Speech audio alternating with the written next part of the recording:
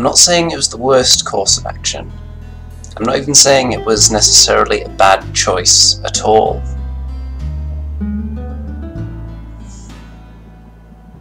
All I'm really saying is that if you're going to do something like that, you have to be prepared for the consequences. You can't expect to just swan through life and everything just fall the way you want it. That's not how life works. Some people just have a hard time realizing that, so they go into every situation just assuming that everything is going to go smoothly for them. And then when something like this comes up, they really don't know how to deal with it, and then they make choices that aren't necessarily what I would do in their position as somebody who is more attuned to the world's signal, I would say. I just feel like my mind is more on the same wavelength with the universe compared to some people. A lot of the choices I make, you may look at them and think, that's a little bit strange, what's he doing that for? But then if you wait maybe 10 minutes into the future, you'll look at it and then you'll get it. I just seem to move at a quicker pace mentally than a lot of people. And when you take into account the rotation of the Earth, time is a relative thing to people.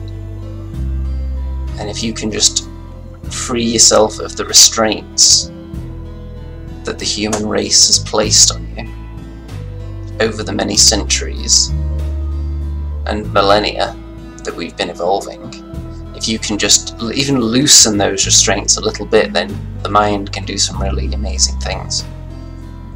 So even when you're faced with something like that, like a giant overgrown turnip jumping on you, you would know exactly what to do. You would have seen it coming. You would have already run through in your mind what could happen if you take course of action A or course of action B.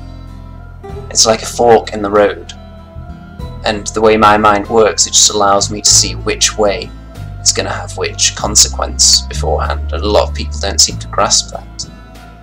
Some people don't seem to have any kind of foresight whatsoever. They go into these situations and they'll just pick any. They'll just make a decision. It doesn't matter if it's the right one to them. They just have to be seen to be decisive. They think that makes them manly or something. That's just the way society's programmed them, I'm afraid.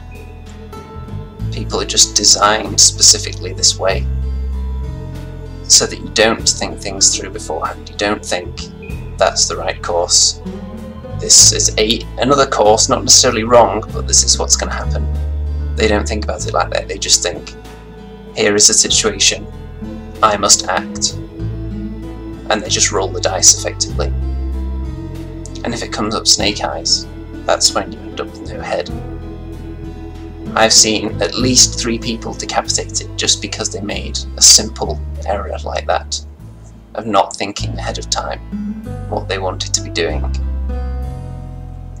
It's sad really because these are people that could have lived otherwise meaningful lives and they're just cut down in their prime.